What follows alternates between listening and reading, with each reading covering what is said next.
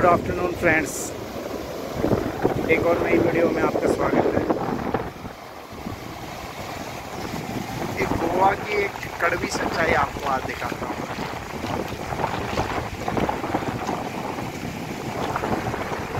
लोगों को ना, ये कहते हैं कि गवर्नमेंट ये कर रही है, वो कर रही है। भाई साहब, आप क्या कर रहे हैं? ये बोतल देख रहे हैं आप? अभी यहाँ पे लोग आते हैं, बैठते हैं, दारू पीते हैं बियर पीते हैं। अब ये देखें, इन्होंने यहाँ पे आराम से पी। इसकी फ़ोटो भी खींची। क्योंकि ऑब्वियस बात है कि ये इस तरह से रखी है तो इसकी फ़ोटो भी खींची होगी। अभी ये देखें।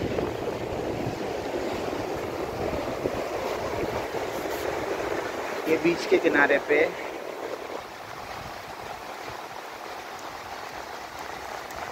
अब आप अपना इंट्रोस्पेक्ट कीजिए कि आप किस साइड में हैं? आप मेरी साइड में हैं या ये जो बोतल रख के गया आप उसकी साइड में हैं? भर भर के गालियाँ लिखिए कमेंट बॉक्स में, भर भर के। और इस वीडियो को वायरल कीजिए, बताइए लोगों को को ये ये चीज़ नहीं होनी चाहिए हमारे यहाँ। अगर हम लोग ये चीज़ कर रहे हैं, अगर आप आप भी करते हैं और ये वीडियो देख रहे हैं तो shame on you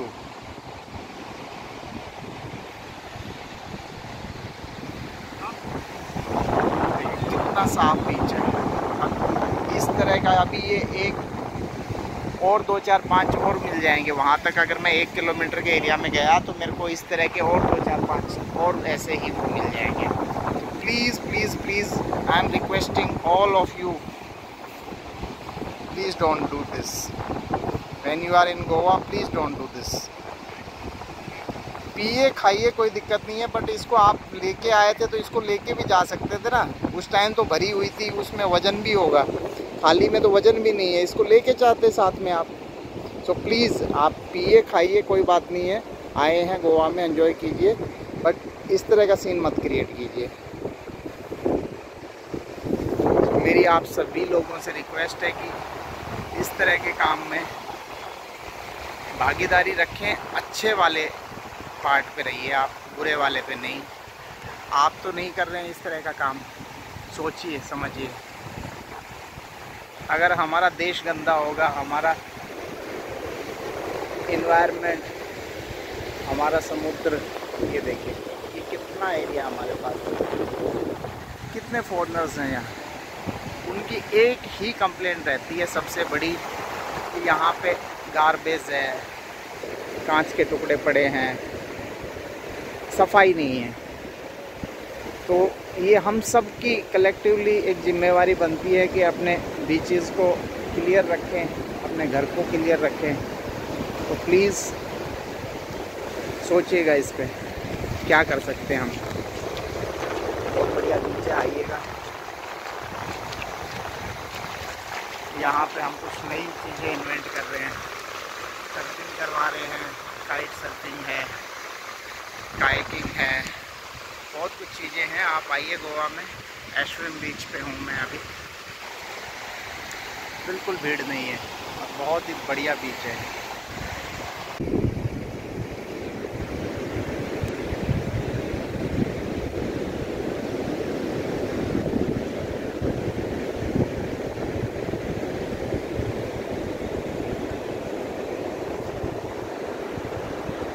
This is our kayak if you want to experience it here on Aspen beach you're most welcome बहुत बढ़िया जगह है बहुत ही बढ़िया जगह है दो दिन से बहुत बढ़िया वेव चल रही हैं सर्फिंग के लिए भी बहुत बढ़िया जगह है आइए एशविन बीच पे और कायाकिंग और सर्फिंग का मज़ा लीजिए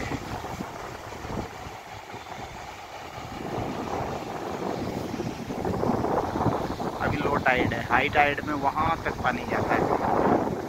तो आके देखिए एक बार कितना क्या बहुत ही बढ़िया जगह है। आपने पी थी क्या ये? आपने पी थी? इनमें से किसी ने पी है? नहीं? चलो, कोई बात नहीं। मैं समझ लेता हूँ, मैंने पी थी। अब वीडियो बनाना। कई भाई लोग क्या करेंगे कि वीडियो बना लेंगे। और उसको कचरे को साफ़ नहीं करेंगे। तो is my responsibility if I see something happening bad and I can correct that so why not I'm gonna put these in dustbin.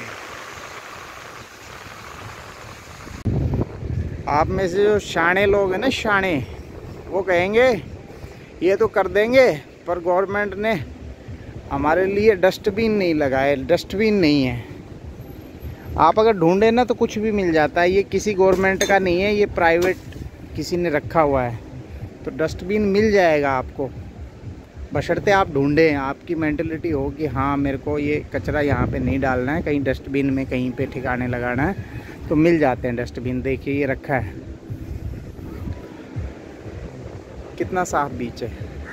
अब इसको आप आके गंदा करें तो ये अच्छी बात नहीं है। सो प्लीज़ डस्टबिन ढूंढिए, कहीं भी आसपास होगा, ऐसी बात नहीं है कि डस्टबिन ना मिले आपको। होगा कहीं ना कहीं।